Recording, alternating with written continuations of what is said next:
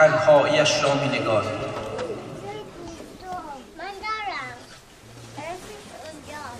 از چه ای غم قصه تنهایش را می نگاریم او که صدها کهکشان داغ مکرر بود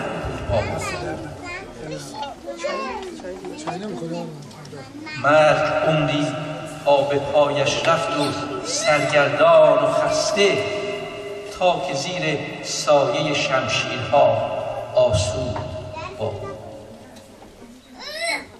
تا که زیر سایه شمشیرها آسود. چی؟ برای اینکه او کمال محض است و به کمالش مبتهج بود. عشق میورزید و به تبع به آنچه که جلوه های این کمالات نشانه های این کمالات ظهورات این کمالات است عشق میورزد و لذا همه را آفرید. خب این سوال اول. سوال دوم که اصل بحث ما در این شبها معطوف به اوست. حالا ما آدم ها رو که آفرید ما رو آفرید ما به کجا برسیم؟ هدف ما در این جهان چه باشد؟ دنبال چی باشیم که تو زندگیمون احساس پوچی و بیمعنایی نکنیم؟ خیلی نکته مهمی است پوچی معمولا تو یکی از این پنج صورت که عرض می‌کنم جلوگری می‌کنه. آدمایی که تو زندگی چرایی زندگی رو نمی‌فهمند معمولا رو میارن به یکی از این رفتارها. گاهی خودکشی.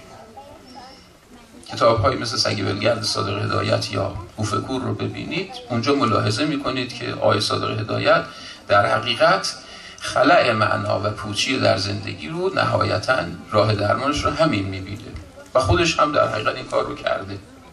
آی صادق هدایت وقتی از ایران آمد اروپا ابتدا تو سوئیس مهندسی می‌خوند. بعدا که آشنا شد با خیام و با عرض می‌کنم که بودا و بعضی با کافکا به خصوص این سه متفکر بسیار تاثیرگذار روی هدایت بودن نسبت به هر سم نوشته هایی داره.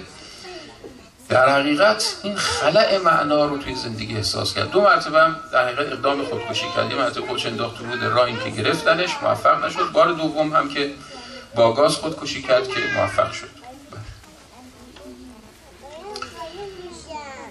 گاهی تجلی این پوچی بی معنای خودکشی. گاهی به همریختگی روانی است. انسان ها روان نژند می شود خود ژان پل سارت از فیلسوفان بزرگ اگزیستانسیالیست قرن بیستم در حقیقت مدتی بستری بود توی آسایشگاه روانی و احساس می‌کرد چیزهایی مثل خرچنگ دائما دارن به اون حمله می‌کنند. گاهی این تجسم پوچی نه در جنون یا خودکشی بلکه در مستی و تخدیر آدم ها برای اینکه جرأت خودکشی ندارن و برای اینکه به هم نریزن سعی می‌کنن از هوشیاری خودشون رو بکشن به یک حالت قفلت این سوال رو اصلا مجال ندن براشون ایجاد بشه. بهترین کار همین است که مشروب بخورند از مواد الکلدار استفاده کنند یا برن سراغ مواد توهمزا برن توی عالم مجازی. تو اون عالم دیگه فکر و خیالی که من چرا هستم و چرا باید زندگی بکنم سراغ اونها نیاید. این رو هم توی ادبیات و فرهنگ خودمون ببینیم خیام شاعر که با شخصیت خیام ریاضیدان دو تا شخصیتند. این به اصطلاح کسانی خواستند از اون سوابق خیام ریاضیدان استفاده کنند و شخصیت خیام شاعر رو برجسته جلوه بدن. اینا دو تا شخصیت معاصرن و دو تا تفکر هم داشتن. خیام ریاضیدان یک فیلسوف مشایی طرفدار آراء ابن سیناست که اساسا با این بحثایی که خیام شاعر می آورد همخوان نیست خیار شاعر هم خیام شاعر هم این ادبیات رو گسترده. که چون ما نمی‌دونیم چرا زنده ایم پس فعلا خوش باشیم.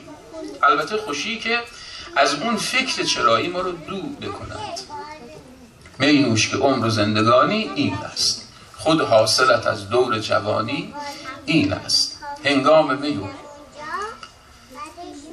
ما از و یاران سرمست مینوش بله که عمر جاودانی این است. پس گاهی خودکشی گاهی جنون گاهی مستی و تخدیر. گاهی اونقدر آدم ها سن خودشون کار میریزن که اصلا فرصت فکر پیدا نکنن مشغله زیاد. گاهی هم اسیان نسبت به همه چیز همه چیز. کتاب اسیان آلبرکام رو ببینید دقیقا تصویر می‌کنه این چیز گاهی هم بیگانگی و بیتفاوتی نسبت به همه چیز. کتاب بیگانه کامو رو اگر ببینید دقیقا این دو کتاب این دو صورت پوچی رو تصویر می‌کنند گاهی سنگ شدگی و بیتفاوتی محض گاهی اسیان محض. گاهی مشغله سر خودمون ریختن گاهی سراغ مشروب و الکل و مخدرات رفتن گاهی جنون گاهی خودکشی. آدمی که تو زندگیش معنا نداره نمی‌دونه برای چی زنده است برای اینکه این درد و این سوال او رو نگزد. و رنج ندهد با این سعی می‌کنه از یکی از این راه استفاده کنه از رنج نهایی پیدا بکنه. این سخن مال امسال امسال و امروز این قرن ما نیست. بیش از هفت قرن پیش مولوی میگه تو این عالم زندگی کردن بدون اینکه بدونیم چرا زندگی می‌کنیم یه رنج داره. ازش تعبیر میگه رنج هستی. تا آدمی از رنج هستی وارهند ننگ خمر و بنگ بر خود می نهند خمر یعنی شراب بنگ هم یعنی مواد مخدر. می گفت یه کسانی توی عالم حاضرند این تهمت رو بپذیرند این نسبت رو بپذیرند که به اینا بگن بنگی و معتاد به اینها بگن شارب الخمر و مشروب خور اما در اثر این خمر و در اثر این حالت تخدیر یه لحظاتی از اون رنج بیمعنایی زندگی خودشون فرار بکنن تا آدمی از رنج هستی وارهند ننگ خمر و بنگ بر خود می‌دهند میگریزند از خودی در بی خودی سعی می‌کنن از این حالت هوشیاری فرار بکنن به یه حالت قفلت میگریزند از خودی در بی خودی یا به مستی یا به شغل. ای محتدی شغل یعنی همین مشغله زیاد. اونقدر سر خودم کار بریزم که فکر نکنم برای چی دارم کار می‌کنم برای چی دارم زندگی می‌کنم. دنبال چی بایستی؟ دین از کارهایی که می‌کنه مهمترین کارهایی که در زندگی ما انسان ها می‌کنه و از پربرکتترین خدمات و فونکسیون های دین در زندگی ماست اینه که به ما میگه آقا شما برای چی تو این عالم هستید؟ خدا برای چی شما رو آورده؟ و برای چی بایستی باشید؟ دنبال چه چیزی بروید؟ و اگر دنبال اون نروید توی زندگیتون احساس شادی ندارید. احساس تومعنینه ندارید. زندگی که خالی از شادی باشه خالی از تومعنینه باشه خالی از امید باشه و خالی از معنا و خالی از رضایت این زندگی زندگی پوچی است که انسانها تو احساس سعادتمندی نمی‌کنه